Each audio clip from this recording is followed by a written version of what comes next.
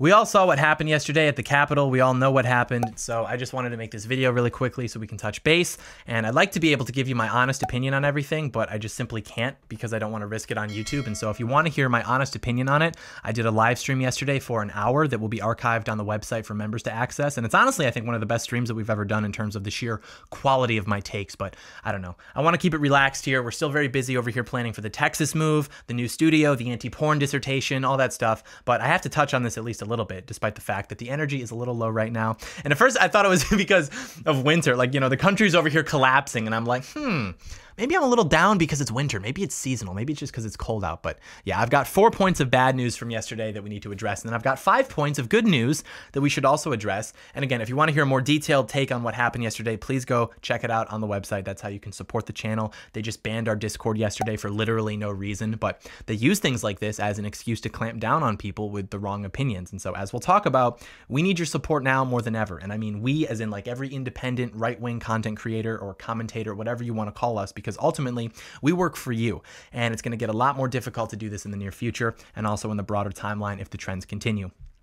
And you might think that I'm being pessimistic. I don't think I am. I think I'm just being honest. I think I'm calling it how I see it because what happened yesterday happened. And now it's over, which means that all we can do now is look ahead to the future and deal with the consequences of that event that we're all going to face, regardless of whether we were there, uh, regardless of whether we support it. None of that even matters. Like, we're all implicated because we're all conservative or we're all Trump supporters or whatever. Like, I won't speak for you individually, but you get what I'm saying. Like, a lot of people will hear this and think that I'm condemning or disavowing the protesters, but I didn't say that. Those aren't my words. And again, I have to be very careful careful with my words here on YouTube, but I will say that I understand why they did what they did, not even in terms of like the way the media has glorified and enabled rioting for the last six months in this country, but I will say that there is a key difference that no one really seems to be highlighting because, of course, you know, conservatives are playing their favorite game right now, which is can you believe the left? Look at the hypocrisy, which is just really low hanging fruit. But the key difference, and this is all that I'll say, is that one group of people hates our country so much that they're willing to risk their lives to destroy it, and the other group of people loves our country so much that they're willing to risk their lives for it do with that as you will. But, anyways, the first point of bad news is that we poked the bear. That's really what happened. We didn't drain the swamp. We didn't overturn the results of the election. We basically just poked the bear. And now we're going to get our teeth kicked in because we simply don't have the power in society necessary to get away with something like that or even to be successful in what was trying to be achieved in the first place, if anything at all. And this is important because people will say, well, well, what about when the left riots? Or they'll say, well, I'm consistent and I condemn this on both sides. And it's like, yeah, that's great. But you have to understand that the right and the left do not exist as equals in society. And therefore, even when they act with relative similarity to each other, the results of this will not be the same because conservatives have no power or representation in society. And to this, you might say, well, well, you can't really compare six months of rioting from the left with what happened yesterday from the right. And it's like, yeah, that's the point. It doesn't even matter. We don't control the narratives and we don't write the history books. And you'd better believe that what happened yesterday will be included in the history books. And all of that rioting that we saw over the summer, the last six months, that will either be excluded or it will be documented as effectively equal to the sit-ins of the civil rights movement. Like it's one thing if you poke the bear and then it wakes up and you just plug it in the skull with like a 44 Magnum, but we basically just went in there and poked the bear and now things are going to get really bad for us. We're basically defenseless. We're RJ. We're just RJ. We thought we were the Deep Pelter Turbo, but it turns out we're just RJ.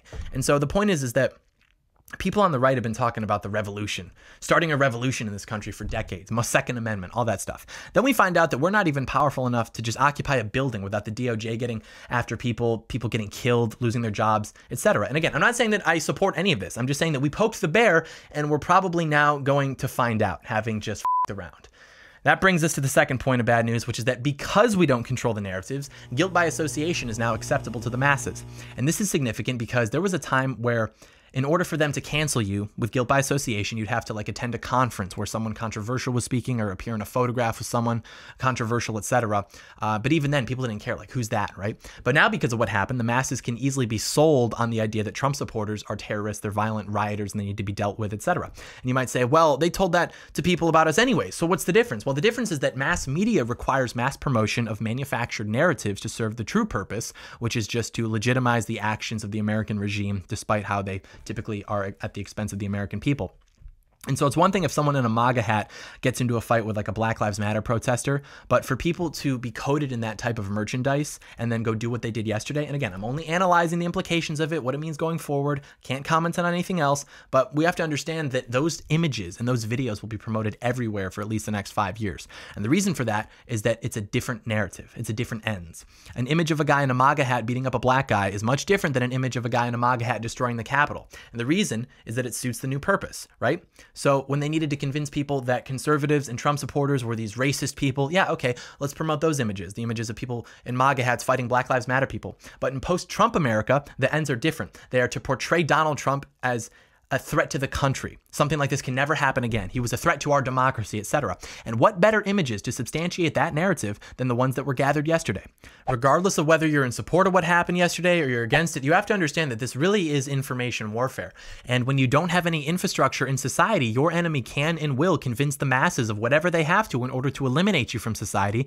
And that gets into our next point of bad news, which is that everything we predicted is coming true and it's even being accelerated, which is that the American regime, the establishment, the deep state, whatever you want to call call it, is trying to consolidate its power in order to recover from the threat posed to it by President Trump and his movement. And for them to do that, they have to purge Trump supporters from the realm of perceived political legitimacy. So you will have the radical left, and then you will have a continuation of the spineless GOP who does not represent you, does not represent your interests, and in fact only exists to give you the illusion of choice. But at the end of the day, it's all the same, and it will continue to get worse. And they will come together with the manufactured narrative of bipartisanship and national unity to condemn that which posed a legitimate threat to their power, which was President Trump and his supporters and his movement. And this is because consolidation is universal. And I forgot who said this, but this is something that I've picked up from reading Marxist theory. You can can actually you can learn a lot about power from reading Marxist theory because Marxism is so retarded that most of the time they don't even try to explain how it's going to work. They really just instead focus on like getting into power and then basically winging it. But they said something to the effect of consolidation is universal, which means that to consolidate political power, you're also going to have to consolidate public opinion necessarily. And they've got that teed up perfectly, especially because of what happened yesterday. They are literally censoring the president of the United States, which gets to our last point, which is that the president of China is now the most powerful, demonstrably the most powerful man in the world and that's not good. You know, we can talk more about China if you want, but right now it's important to understand that the president of the United States, for however much longer he's going to be president, is literally being silenced. He's being subverted and betrayed by those who are supposed to be his allies, and at this point, he really has no power. And as China grows stronger, we grow weaker, and that is by design because the problem isn't necessarily China. The problem is that the people who are supposed to be representing us have sold us out to China for the last 30 years, and they're going to continue to do so over the course of at least the next five years things are going to get bad. Things are going to get really bad. I wish I could sell you false hope, but the reality is that we're just going to be living through this for, for a minute. And on that note, actually be very careful and pay very close attention to what everyone else is talking about right now. Like really think about who's got your back and who really cares about the country versus people who are just grifting because that's how we got here in the first place. And I don't know if they'd be called grifters back then, but basically everyone that was supposed to defend us just decided to lie to us and then just make money for themselves. And so now we're here, but you know, it's not all bad. We've got five points of good news, five reasons to believe that it's all going to be okay. Starting with number one, I personally am doing pretty well. I got some cool books in the mail yesterday. This morning I had a waffle. I'm excited to move to Texas, start working on all that stuff that we have planned for this year. I'm giving a speech on the updated conservative ethos, so to speak, at the University of Arizona on the 21st. So we're excited about that. But enough about me. Let's talk about you. With the second piece of good news, you're living through the collapse. That's kind of epic. You're living through the collapse of the Roman Empire. That's a pretty decent dice roll. And look, okay, gamers, is it a bummer? Yes. However, you could have been alive during something much less interesting. You could have been born in like 1875 and then die in 1900 of like tuberculosis. That's lame. And when all is said and done, None of this matters. You're not what school you went to, you're not how much money you have. All that really matters is your character and your story. And whoever has the best character and the best story wins. And given the fact that you're living through the collapse, got a pretty good story already, and then if you can even remain a good person throughout that, like you're even better. So is it bad? Yes. But sometimes it has to be bad so that it can be good, which gets to our next point of good news, which is that it's getting worse. That is so based. We all knew it was to have to get really bad before it could ever get better, and here we are, right on track, right on course. Sometimes you have to lose the battle to win the war. Other times you have to lose basically all the battles ever and then maybe win the war at the last minute. That's me and you, big guy. That's us. But seriously think about the sheer political realignment that has occurred in the last 48 hours on the right. Like we are waking up to the reality of how bad things really are. And without that happening, we would never be able to fix anything. And because we don't have the means of mass communicating just how bad it could get to everybody, the only way for them to realize that was for it to get that bad. So this is a difficult yet necessary step, which gets into our next point, which is that we've been thrown into the water. We have now, or at least we're starting to, you know, seriously wake up, understand the reality of our situation, the gravity of our situation. And so from there, we make a choice to either sink or swim. Because once you realize how bad it is, once you go down the rabbit hole, you now have an obligation to either consciously work to solve it or consciously choose to do nothing. In another moment, down went Alice after, never once considering how in the world she was going to get out again. I've been playing Far Cry 3 again. But the point is that it had to get worse in order for us to wake up. And now that we're waking up, what are we going to do? I don't know.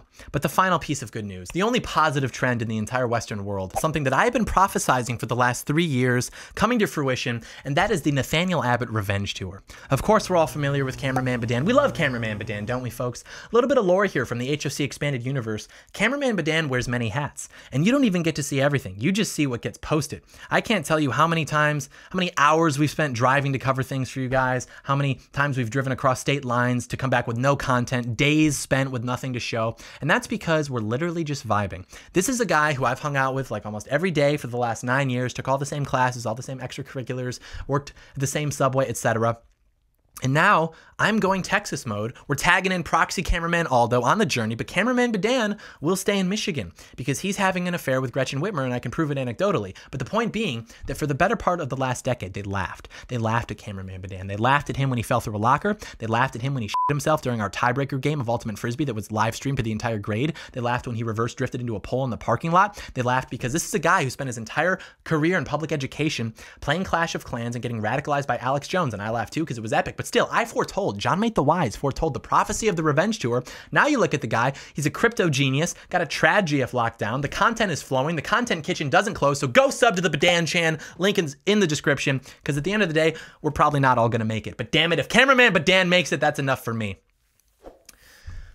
Everything burns except the breakfast. An introduction to waffle escapism. Ebook coming soon. Hey guys, if you like this video, leave it a thumbs up, leave it a comment, subscribe to the channel, turn on post notifications so that you are notified in the event that I post, which I do, and you'd want to be notified about that, I would imagine. And then you're also going to want to share the video with a friend. That last one's not a, like a button. That's more of a, an independent thing. There's no real real share. I mean, there is a share button, but that just kind of like prompts you to to have the agency to go ahead and do that at your own accord. So I would imagine that the average viewer is doing like maybe 1.5 of these if we had to to get the mean mean figure for the response from the audience, but uh, you know, that like 0.5% that does all five actions. We love the 0.5%. We love the 7%. We love the 0.5%. We love the 93% more than the 7%, frankly. But not like a gay way, you know, like a like a like a like a what's camaraderie? That's not a word. In a in a way that conveys camaraderie.